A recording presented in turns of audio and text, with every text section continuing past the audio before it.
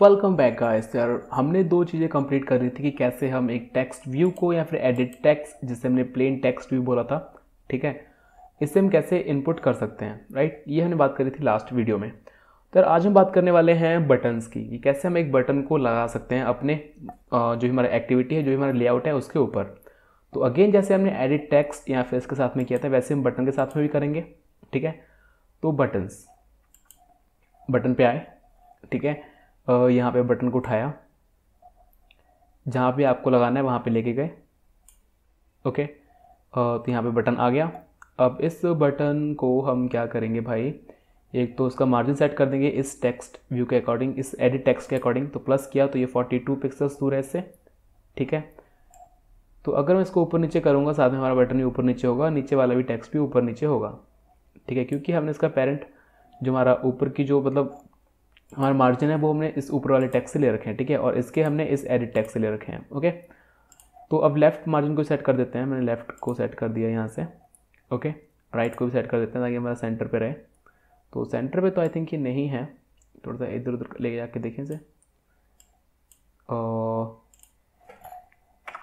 One forty five कैसा रहेगा? Okay ये हो नहीं रहा है वन फोर्टी फाइव पे हो गया। आई थिंक हो गया। ओके तो इतना करने के बाद में हम इसकी फिर से एट्रीब्यूट्स आप यहाँ पे यूज़ कर सकते हैं। जैसे कि यहाँ पे बटन है, इसकी जगह पर मुझे लिखना है कन्वर्ट ओके प्रेस एंटर तो हमारा कन्वर्ट हो जाएगा। ओके आप टेक्स साइज़ और बाकी जो चीज़ें हमारी वो सब कलर वलर सब चेंज कर सकते हैं अपने अकॉर्डिंग ठीक है? तो फ़िलहाल अब हमें जिसकी एक इंपॉर्टेंट प्रॉपर्टी है, जो नई है, बाकी सब तो कुछ तो पुराना ही है कलर वगैरह तो तो नई प्रॉपर्टी हमारे पास में है ऑन क्लिक ठीक है, आप यहाँ पे नोटिस करेंगे ऑन क्लिक शो हो रहा है। ये ऑन क्लिक का मतलब क्या है? ये दिखाता है कि भाई आपको कौन सा फ़ंक्शन एग्जीक्यूट करना है जब आप इस बटन पे क्लिक करो। ठीक है? तो ऐप को इंटरेक्टिव कैसे बनाते हैं कि अभी तो खाली हमने डिज़ाइन किया था। बटन प्रेस करेंगे तो कुछ तो होना चाहिए ना।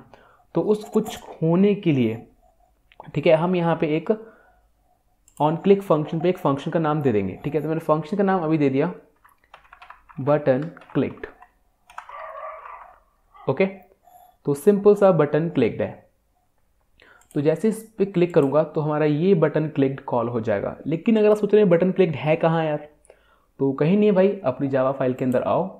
ठीक है, यहाँ पे ऑन क्रिएट तो पहले से बना ही हुआ है। इसके बाहर हम एक बटन क्लिक्ड को भी बना लेते हैं। तो फ़ंक्शन कैसे बनाते हैं? पब्लिक हमारा ये पब्लिकली एक्सेस होगा। ठीक है? कहीं से एक्सेस कर सकते हैं। वॉइड हमारा ये फ़ंक्शन कुछ भी रिटर्न नहीं करने वाला, इसलिए हम वॉइड यूज़ कर रहे हैं, जैसे जावा में करते हैं, ठीक है?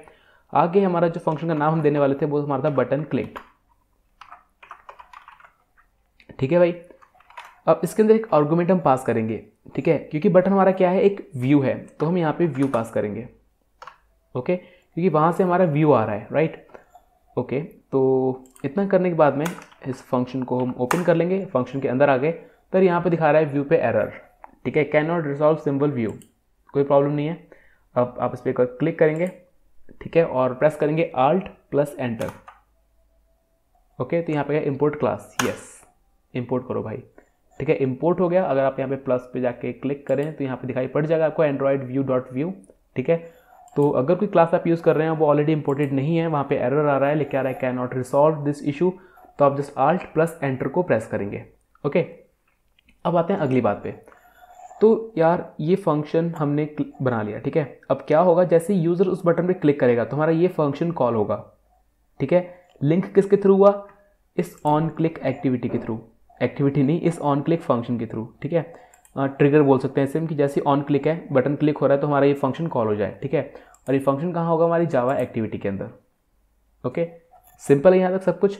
अच्छा अब हम कुछ करके देखते हैं कि जैसे हमारा बटन क्लिक हो तो हमारा कुछ परफॉर्म हो तो वो कुछ क्या है? उसके बारे में बात करते हैं। तो फ़िलहाल हम जस्ट यहाँ पे जो हमारा लॉक कैट है, ठीक है? क्योंकि जब भी हम कोई काम करते हैं एंड्रॉयड के अंदर तो हमारा एंड्रॉयड के अंदर क्या है? अपने सिस्टम के अंदर या फिर आप ऑनलाइन में कोई भी सर्चिंग वगैरह कर रहे हैं तो आपकी log files continually continuously generate होती हैं राइट तो ऐसे यहाँ पे एंड्रॉयड स्टूडियो करते तो कंटिन्यूसली हमारी लॉग फाइल्स अलग अलग जनरेट हो रही हैं। तो ऐसे हम अपने भी एक लॉग में, इस लॉग जो हमारा लॉग टर्मिनल आ रहा है, ठीक है टर्मिनल टाइप का जो विंडो आ रही है, इसके अंदर हम अपना भी मैसेज को देख सकते हैं, ठीक है? तो अपने मैसेज कैसे देख सकते हैं हम? जस्ट यहाँ पे जाएँगे, लिखेंगे लॉग डॉट आई ओके यहाँ पे दो आर्गूमेंट पास करते हैं, एक पहला तो टैग पहली बात तो ये, फिर से भी दिक्कत मांग रहा है कि लॉग रिसॉल्व नहीं है तो जस्ट आल्ट एंटर ठीक है? हमारा लॉग हमारे सिस्टम में आ जाएगा इम्पोर्ट हो जाएगा ओके आल्ट एंटर यहाँ पे पहला देंगे हम टैग तो आपको स्ट्रिंग पास करनी है लेस से इन्फो यहाँ हम लिख रहे हैं जस्ट चेक ठीक है? और सेकंड आर्गूमेंट हम दे देंगे। यहाँ पे। देखो यार, ये टैग और मैसेज लिखने की ज़रूरत नहीं, ठीक है? ऑटोमेटिकली आ जाता है ओके तो मैसेज मैंने लिख दिया। बटन प्रेस्ड बटन नहीं, वही बटन प्रेस्ड ठीक है? तो अभी के लिए खाली मैंने ये चेक करने के लिए कि हमारा बटन प्रेस हो रहा है, नहीं हो रहा है। उस बटन क्लिक पे कुछ परफॉर्म हो रहा है कि नहीं हो रहा है? उसके लिए हम जस्ट यहाँ पे इस लॉक विंडो के अंदर एक मैसेज को प्रिंट करा लेंगे ओके ठीक है भाई रन करते हैं एप्लीकेशन को ओके हो गया जितना होना था क्लिक ओके तो यहाँ पे सारी वो लॉग फाइल्स फटाफट जनरेट हो रही हैं। तो फ़िलहाल हमें इन सब में से किसी से कोई मतलब नहीं है, हमारा एप्लीकेशन इंस्टॉल हो रहा है एक्टिविटी लॉन्च हो चुकी है। हाँ यहाँ पे आए। पहले तो बैकग्राउंड में एंड्रॉयड स्टूडियो ओपन कर लेते हैं देन ओके तो जैसे इस बटन पे मैं क्लिक करता हूँ तो यहाँ पे आप देखेंगे कुछ नहीं हुआ। आई थिंक बटन प्रेस्ड तो आना ही चाहिए था। मैंने बटन को प्रेस किया। ओके नो मैसेज हेयर नहीं है भाई है मैसेज है। ओके okay, आप यहाँ पे देख सकते हैं ये रहा हमारा।